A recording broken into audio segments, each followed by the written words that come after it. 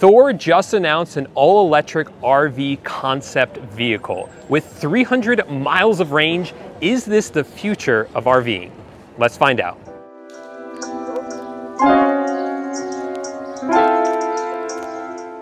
In order to make sure that this vehicle can go as far as possible on a single charge, Thor really made sure that the entire thing was as aerodynamic as possible. That's why you will not see standard side view mirrors here. They're instead replaced with digital ones, and the entire body is just as aerodynamic as they could make it. Stepping inside, you'll immediately notice how wide and open it feels with this amazing accent lighting and this incredible moon roof on the top that really makes you feel like you're in some sort of spaceship. Inside the cockpit, everything is state of the art from this huge center console that will tell you how much further you can go on your charge, to the digital side view mirrors that I mentioned before, right here on either side of the cockpit. Up top, we have the always on rear display, as well as more of that accent lighting right here in the cockpit.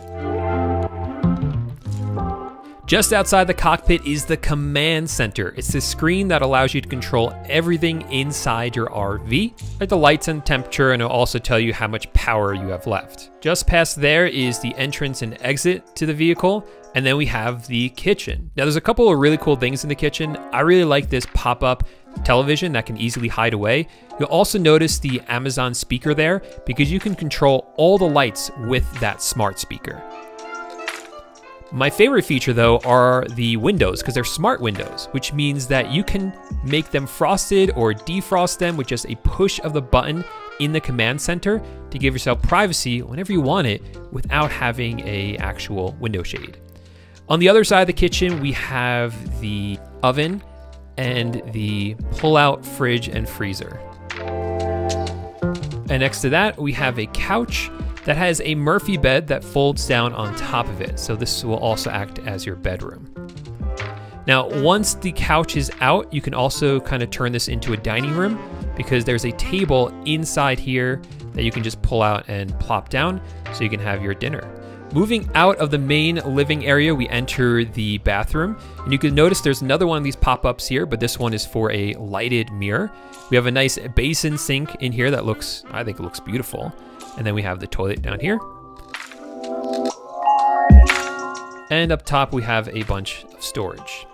On the other side of the bathroom is a large closet. You also notice a vent at the top.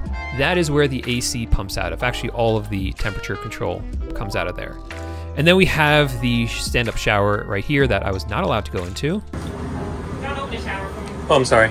But it looked really beautiful and like there was a lot of room in there.